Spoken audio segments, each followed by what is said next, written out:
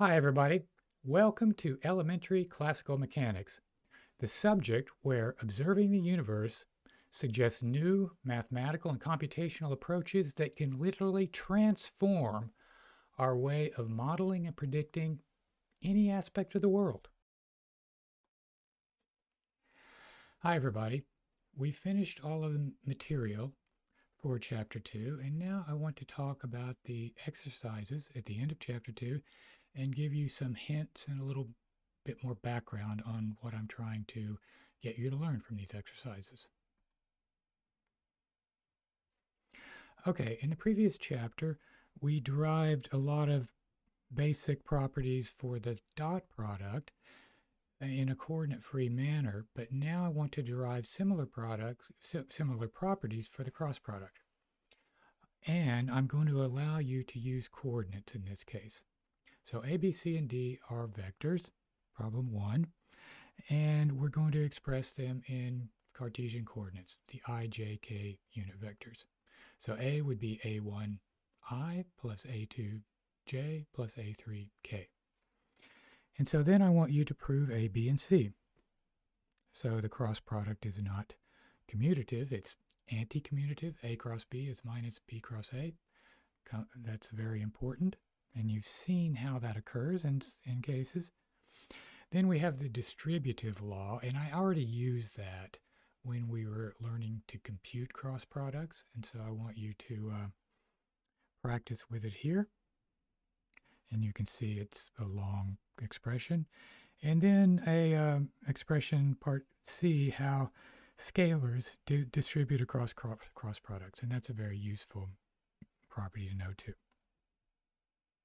Okay, problem two, I give you two concrete vectors, explicit vectors, and I ask you to compute A cross B and A dot B. Should be easy, but it's important that you verify that you can do that.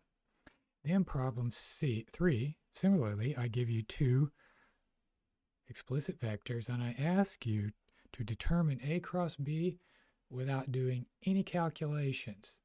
So whenever you're given a problem that's stated like that, you know there's a trick involved.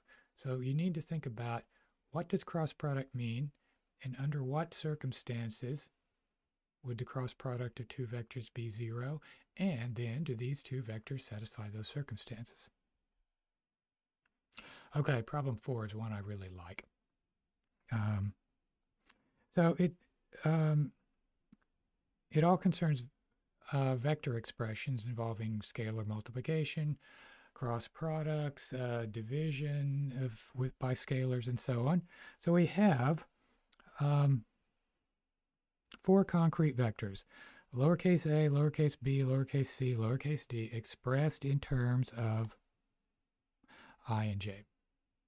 So on this page, you only see a, um, one particular expression, but um, there's more to come. Uh, so I ask you, which expressions make sense? By that I mean which have mathematical validity in terms of the uh, properties of vectors. So the first one clearly does because a dot b is a scalar and it's divided by c dot d, which is a scalar. So you can divide one scalar by the other unless c dot d happens to be 0. But you can you should be able to look at the vector and see that's not the case necessarily. Okay, here's all the other expressions. Some of them are a little bit devious because uh, a dot b dot c. Well, which do you compute first? I kind of left it a little bit vague. Okay, so a dot b is a scalar, and scalars can multiply vectors. But the way it's expressed, a dot b is a scalar, and scalars don't enter into the dot product. So this is not um, allowable. C is also a bit of a ambiguous one. Um, a dot b is a scalar because b bd doesn't have any meaning, so your only choice is a dot b. There is a convention that I want you to learn about this, but uh, I want you to look it up yourself and then we can discuss it. B dot C is a scalar. If it's non-zero, you can divide by it. Okay, fine. What about this? Can you divide by a vector? Leave that up to you. Um, so expressions like, uh, well, this is, this is interesting. A cross B is a vector, and then you can take the dot product with another vector.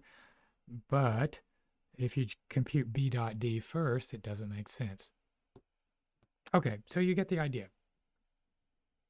And, and so, uh, you know, I, I have this exercise because a lot of, you know, you always have to ask yourself, does the expression you have make any sense mathematically?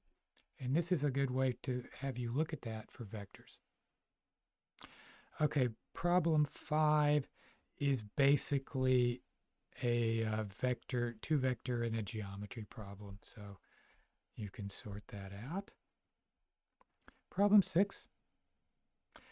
I give you two concrete vectors and I'm asking you to prove the product rule when they are represented in the Cartesian ijk coordinates. And that, that makes it, uh, that makes it, uh, uh, I, well, I believe quite doable because you do it component by, by component. And that's one of the things I want you to realize for the IJK component, IJK coordinate system. You just component by component, and you, in each component, just regular calculus and algebra, and add add everything up. Okay.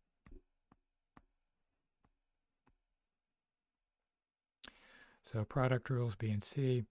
Okay, seven is just a a uh, concrete problem, two problems do, doing integrals. Problem A is pretty straightforward. B is a little more involved. You have to do a little bit of computation, and you're going to, what are you going to get in the end? It's a dot product. So you should get a scalar for B and a vector for A. Important to understand what the objects are once you've done operations, al algebra or calculus on them. Problem 8, I give you the components of a space curve, and I ask you to compute the magnitude of velocity and acceleration. Okay, and then in 9, I give you another space curve. You might ask yourself what that is. It's a helix, and I'll leave it to you to figure that out what that means. Show that the speed of the particle increases with time, but the magnitude of the acceleration is constant. And then describe the motion of the particle geometrically. I just kind of gave that away. Okay, so those are the exercises at the end of this chapter. And next time, we're going to pick up on kinematics, space curves, and we're going to learn about uh, circular motion and line integrals. A, a great topic. So until next time, goodbye.